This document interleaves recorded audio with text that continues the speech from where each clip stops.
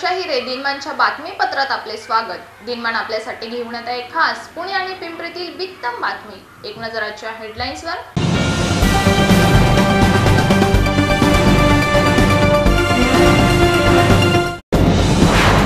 पुण्यातील गायब झालेला तरुण बनला माओवादी कमांडर. पुण्यातील मुठा नदीत आढळली मगर. नागरिकांना सावधगिरीचा दिला इशारा. मालेगाव एमआयडीसीत आढळल्या जळलेल्या अवस्थेत तरुणाचा मृतदेह.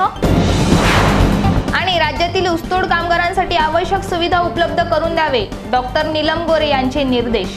आणि आता पाहूयात सविस्तर वृत्त.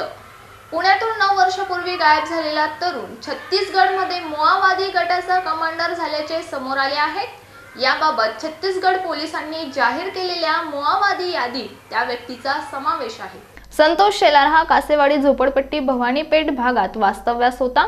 तो नोव्हेंबर दोन हजार दहा पासून बेपत्ता असून जानेवारी दोन हजार अकरा मध्ये त्यासंबंधीची तक्रार खडक पोलीस स्टेशनमध्ये दाखल करण्यात आली. तो विश्वा नावाने ओळखला जातो. छत्तीसगड पोलिसांनी कार्यरत असणाऱ्या माओवाद्यांच्या यादीत विश्वा हा राजनंदन गावामधील तांडा विभागातील माओ कमिटीचा डेप्युटी कमांडर असल्याचे म्हटले आहे. पंचवीस मार्च दोन हजार एकोणावीस या दिवशी बनवण्यात आलेल्या या यादीत पुण्यातील अठ्ठावीस वर्षीय विश्वाच्या नावासह छायाचित्रही समाविष्ट आहे.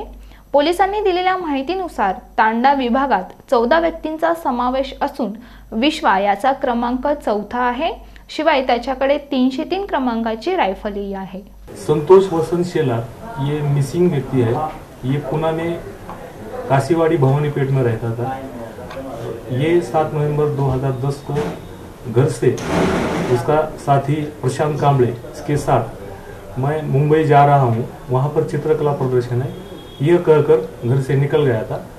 उसके बाद, एक साल बाद, उसका भाई संदीप वसंत शेला, इसने पुलिस स्टेशन खड़क आकर 10 जनवरी 2011 को उसके बारे में, उसके मिसिंग के बारे में कंप्लेन दी है और पुलिस स्टेशन खड़क अंतर्गत मिसिंग नंबर तीन 2011 ऐसा रजिस्टर हुआ है और इन्वेस्टिगेशन चालू है।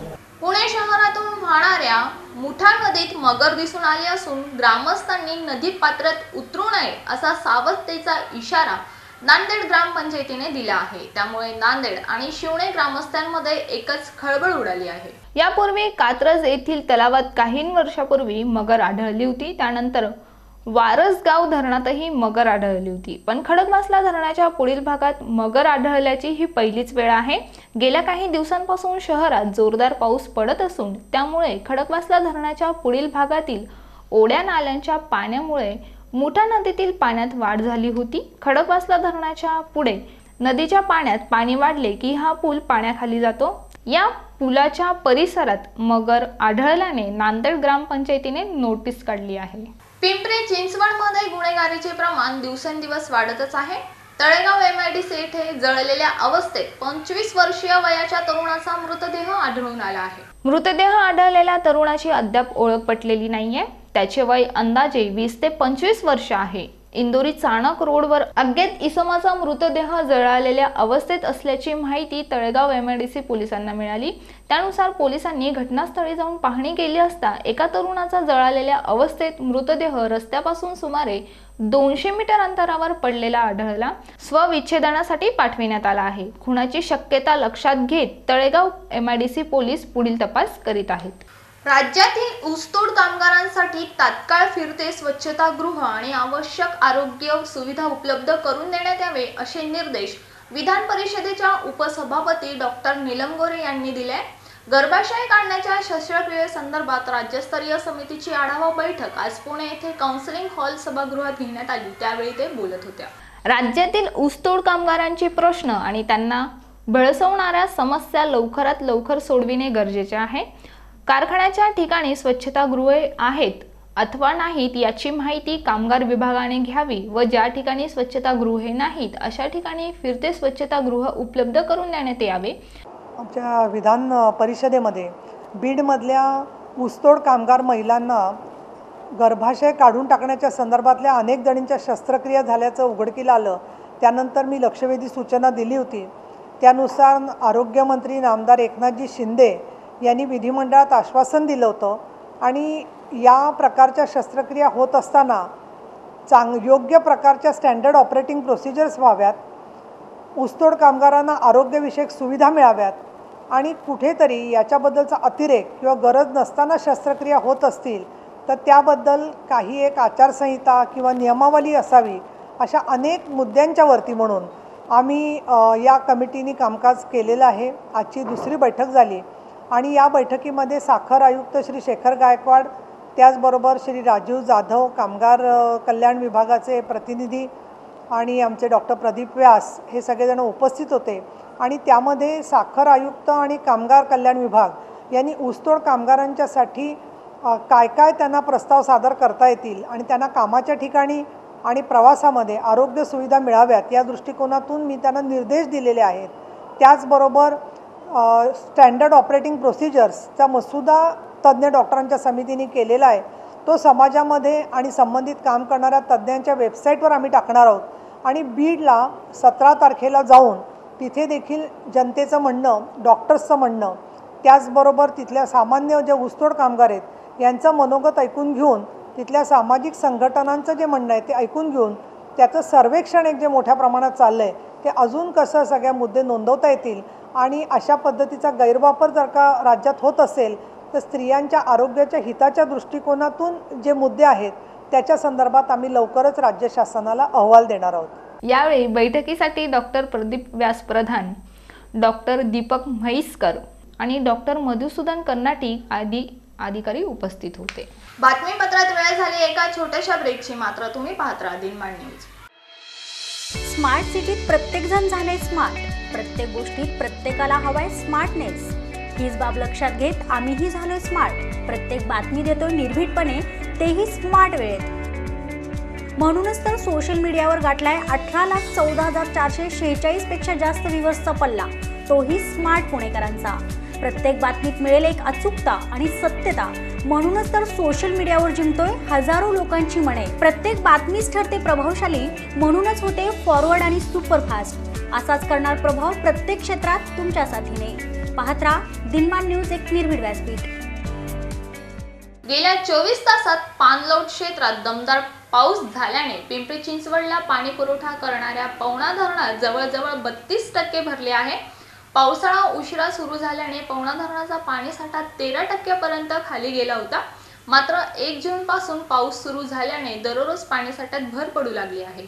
गेल्या चोवीस तासात धरण क्षेत्रात छत्तीस मिलीमीटर पावसाची नोंद झाली आहे. सध्या धरणात एकतीस पूर्णांक चौऱ्याऐंशी टक्के पाणीसाठा आहे. गेल्या वर्षी आजच्या तारखेला धरण एकोणचाळीस पूर्णांक चौवेचाळीस टक्के भरले होते. पवना धरण क्षेत्रात या पावसाळ्यात एकूण आठशे चौवेचाळीस मिलीमीटर पावसाची नोंद झाली आहे. गेल्या वर्षी या तारखेपर्यंत आठशे त्र्याऐंशी मिलीमीटर पाऊस पडला होता. यंदा उशिरा पाऊस सुरू होऊन देखील तो मागच्या वर्षीच्या आकडेवारीच्या जवळपास पोहोचला आहे.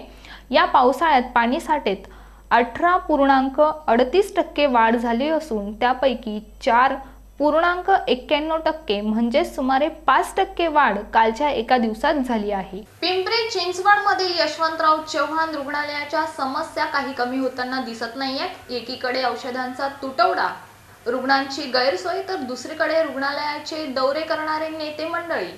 दौरे केल्यानंतर ही परिस्थिती मात्र जैसे ती वैसे आहे. पुणे जिल्ह्यातच नव्हे तर महाराष्ट्रात सर्व सोयी सुविधा उपयुक्त असणारे पिंपरी चिंचवडमधील यशवंतराव चव्हाण रुग्णालय आहे. मात्र या रुग्णालयामध्ये सध्या औषधांचा तुटडाव जाणवत आहे. तर दुसरीकडे अनेक समस्यांनी ग्रस्त आहे. डॉक्टरांची कमतरता रेबीस लस कमी प्रमाणात उपलब्ध आणि पुढारी मंडळींची रुग्णालयात ढवळढवळ अशा अनेक समस्यांमुळे यशवंतराव चव्हाण रुग्णालय मोळकीस आले आहे. असे असताना आज पुन्हा भाजप गटनेते एकनाथ पवार यांनी दौरा केला. संपूर्ण रुग्णालयाची पाहणी केली. डॉक्टरांनी देखील औषधांचा तुटवडा आणि क्वालिटीबद्दल आपले मत मांडले. त्यानंतर नेते मंडळांनी तात्काळ औषधे उपलब्ध करून देण्याचं आश्वासनही दिलं. त्याचबरोबर भविष्यात रुग्णालयाला नवीन सुविधा कशा प्रकारे उपलब्ध करता येतील याबद्दल प्रयत्न केले जातील असे मत एकनाथ पवार यांनी व्यक्त केलं. औषधाचा पुरवठा हा योग्य आहे कुठल्याही पद्धतीचं औषधं कमी शंभर टक्के नाही आहेत. खरं तर ही या पिंपरी चिंचवड शहरामधल्या लोकांना अभिमानाची गोष्ट आहे की या ठिकाणी पी जी इन्स्टिट्यूटसारखी एक नामांकित संस्था या ठिकाणी उदयाला येते. आणि मला असं वाटतं की पी जी इन्स्टिट्यूटच्या माध्यमातून या शहरातल्या गोरगरीब रुग्णांना निश्चितच चांगली सेवा देण्यासाठी आपल्याला पुढच्या काळामध्ये काम करावं लागेल. काहीतरी वेगळं करायचं असेल तर अपार मेहनत केल्याशिवाय दुसरा पर्याय नाही अशीच अपार मेहनत करून जग करण्याची तयारी क्षितिज विचारे नावाचा मराठमोळा तरुण करतोय. तब्बल पंच्याहत्तर देशात एकटंच सायकलिंग करून जग नव्याने शोधण्याची एक संधी त्याला खुणवते आहे. मूळचा रायगड जिल्ह्यातील श्रीवर्धन तालुक्यातील हा अवलिया छंद आणि स्वप्न यांची सांगळ घालून तब्बल चार खंड पंच्याहत्तर देश आणि पंच्याहत्तर हजार किलोमीटर सायकलचा प्रवास घाट करतोय.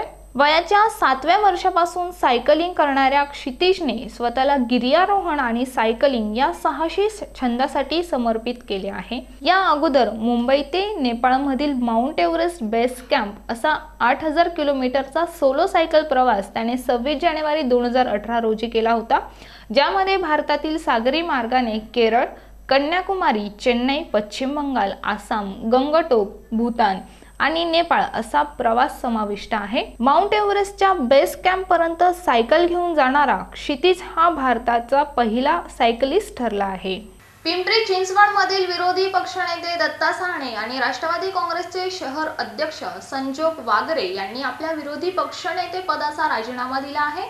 मात्र साने यांनी राजीनामा दिला असला तरी महापौर विदेश दौऱ्यावर असल्याने राजीनामा अद्याप मंजूर झालेला नाहीये. साने यांनी विरोधी पक्षनेत्याची उत्कृष्ट जबाबदारी पार पाडली आहे. त्यांचा कार्यकाल संपल्याने अजित पवार यांनी राजीनामा देण्याच्या सूचना दिल्या होत्या. त्यामुळे दत्ता साने यांचा विरोधी पक्षनेते पदाचा राजीनामा स्वीकारला असे संजोग वागारे म्हणाले. पिंपरी चिंचवड महापालिकेच्या सार्वत्रिक निवडणुकीत राष्ट्रवादीला सत्ता गमवावी लागली. दुसऱ्या क्रमांकावर असलेल्या राष्ट्रवादीकडे विरोधी पक्षनेते पद आले होते. पक्षातील जास्तीत जास्त सदस्यांना संधी मिळावी या हेतूने एका वर्षासाठी नगरसेवकांना विरोधी पक्षपद देण्याची संधी राष्ट्रवादीच्या पक्षश्रेष्ठीकडून घेण्यात आली होती. ते आता शेवटी तुम्ही म्हणताय आता मला काय तसं सांगता यायचं नाही पण शेवटी प्रत्येकाच्या मनात काय चाललं हे मी सांगू शकत नाही. की बाबा समोरच्याने कुणी काय माझ्यासाठी कुरघोड्या केल्या असतील तर मला माहीत नाही पण अपेक्षा अशीच होती की बाबा येणाऱ्या विधानसभेमध्ये या सभागृहाला वटणीस आणण्यासाठी किंवा ह्या भाजपाला वटणीस आणण्यासाठी एक खंबीर नेतृत्व या खुर्चीवर हवं होतं. त्या माध्यमातून ते असावं अशी माझी पण मनोमन इच्छा होती आमच्याही काही नगरसेवकांची तशी इच्छा होती की बाबा व तुम्ही दोन महिने या या पदावर राहावं. कारण उद्याच्या येणाऱ्या निवडणुकीमध्ये किंवा विधानसभेच्या निवडणुकीमध्ये यांचे सगळं काळबेरप काढणारा काढण्यासाठी तुम्ही सक्षम आहात असे माझ्या बऱ्यापैकी नगरसेवकांचं म्हणणं होतं. पण आदरणीय आमच्या पक्षश्रेष्ठींचा ज्यावेळेस आदेश येतो आम्ही पक्षश्रेष्ठींना मानणारी मंडळी आहोत. आदरणीय दादांना आणि साहेबांना मंडळी मानणारी मंडळी आहोत. दादांनी एकदा आदेश दिल्यानंतर तिथनं पुढं आम्ही काय आडेवेडे घेणं हे आमच्यासारख्या कार्यकर्त्याला शोभणार नव्हतं. म्हणून मी ताबडतोब दादांच्या आदेशाला अधीन राहून मी राजीनामा दिलेला आहे. सध्याचे युग आहे ते ग्लॅमर आणि सुंदर दिसण्याचे. आजच्या स्पर्धेच्या युगात तर व्यक्तिमत्वाच्या सादरीकरणालाही अनन्यसाधारण महत्त्व आले आले आहे. याची जाणीव तरुण मुलींमध्ये वाढती असून त्यानिमित्त भारतातील पहिल्या ब्युटी हेअर एज्युकेशनल एक्सपो दोन हजार एकोणावीसचे आयोजन पुण्यात करण्यात आले आहे. भंडारा भवनाच्या शानदार सभागृहात दोन दिवस म्हणजे सकाळपासून संध्याकाळपर्यंत हा सोहळा रंगणार आहे. श्री सौंदर्य आणि मेकअप या क्षेत्रातील अनेक नामांकित कंपन्या आणि त्यांचे प्रतिनिधी या एक्स्पोमध्ये आवर्जून सहभागी होणार आहेत. सहभागी सर्वांना या क्षेत्रातील नाविन्यपूर्ण असे जागतिक ट्रेंड्स आणि व्यवसायाच्या नव्या संधी याची माहिती मिळू शकणार आहे. त्याशिवाय रॅम्प वॉक प्रेरणादायी ब्युटी टॉक अशा वैशिष्ट्यपूर्ण कार्यक्रमाचाही त्यात समावेश असणार आहे. पुन्हा एक नजर आजच्या हेडलाईन्सवर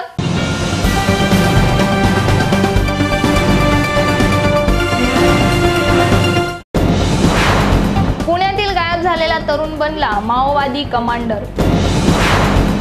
पुण्यातील मुठा नदीत आढळली मगर नागरिकांना सावधगिरीचा दिला इशारा. तळेगाव एमआयडीसीत आढळल्या जळलेल्या अवस्थेत तरुणाचा मृतदेह. आणि राज्यातील ऊसतोड कामगारांसाठी आवश्यक सुविधा उपलब्ध करून द्यावे डॉक्टर नीलम गोरे यांचे निर्देश. आणि आता बातमीपत्रात वेळ झाली इथेच थांबण्याची मात्र तुम्ही पाहत राहा दिनमान न्यूज एक निर्भीड व्यासपीठ. नमस्कार.